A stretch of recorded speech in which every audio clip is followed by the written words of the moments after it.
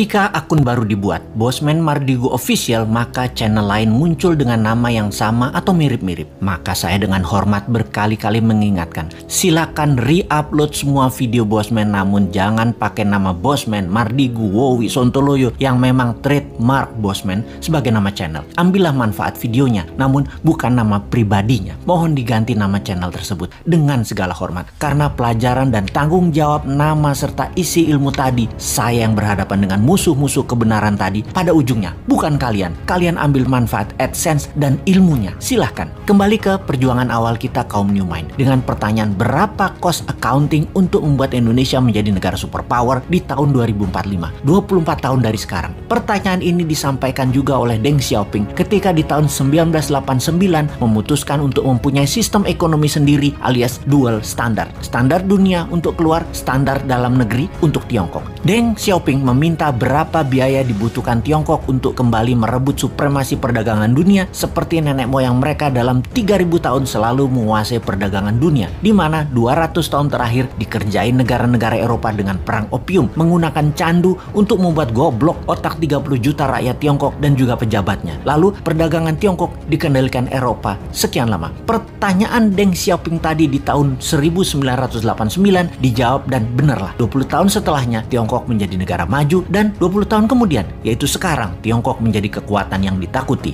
Pertanyaan awal kita, berapa cost accounting untuk membangun Indonesia untuk menjadi negara superpower di tahun 2045 itu? Hal itu sangat penting. Berapa modal yang dibutuhkan? Berapa dana yang dibutuhkan? Dan itu harus diketahui sekarang. Semua itu akan kita ciptakan dananya serta pekerjaannya untuk 100% warga Indonesia. Kita lompat ke tahun 2030 ke depan. Di tahun 2030 atau kurang dari 9 tahun lagi, dari saat ini dunia menjadi lain dengan dunia yang kita kenal 100 tahun terakhir. Pandemi 4 tahun hingga tahun 2025 merubah 60% kehidupan manusia. Teknologi bioengineering, biomedical, menggeser DNA dan RNA manusia membuat manusia menjadi super karena lawannya penyakit juga menjadi super. Penyakit bawaan atau penyakit karena virus bermutasi. Manusia pun bermutasi dengan perubahan genetik tubuh manusia dipicu dengan growth factor biomedical. Di sisi lain, secara politik, kalau Amerika tidak hantam secara militer negeri Tiongkok dalam kurang waktu 3 tahun ke depan, maka di tahun 2030 Tiongkok akan menjadi negara superpower nomor satu. Dan saya garansi Amerika tidak akan serang Tiongkok. Amerika tuh chicken sekarang. Sungguh. Kemudian komunikasi 6G dipimpin Tiongkok. Distribusi kapal niaga dan seluruh gadget serta transaksi perdagangan dikuasai Tiongkok. Kesehatan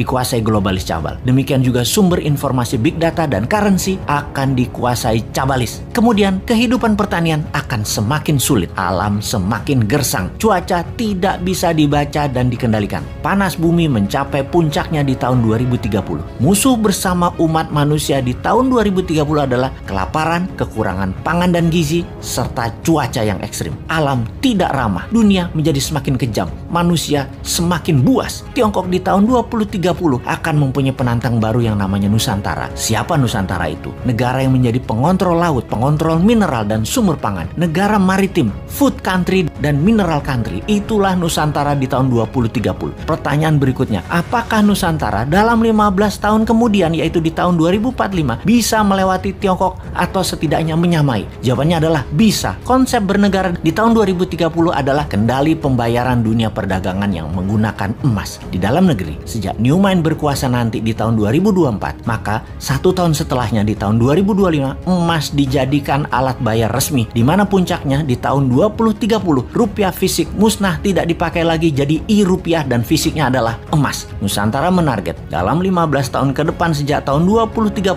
transaksi dunia 50% memakai emas. Itulah awal Nusantara menjadi negara superpower di tahun 2045. Kunci penting berikutnya di periode 2045 sampai 2070 di mana dunia sepakat tidak akan ada lagi perang militer namun semua negara berkolaborasi merubah dunia menjadi lebih baik. 2045 hingga tahun 2070 Nusantara menjadi negara superpower yang memimpin garda terdepan pejuang lingkungan hidup, kesehatan, edukasi dan sustainable eco living. Nusantara memimpin perbaikan alam selama 15 tahun hingga tahun 2070.